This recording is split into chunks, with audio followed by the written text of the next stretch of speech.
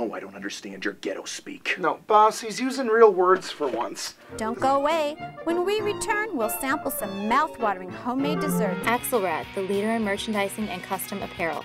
Call or visit our showroom today. You tried to release all the guilt and the hate, 'cause you know that it's time. You sure this is everything you have? Why? You want to take my underwear too? What an idiot. I swear to Christ, not tonight, all right? Not tonight, okay? I don't even want to know tonight. I don't even want to know tonight. If there's anything at the house, get it out of the house.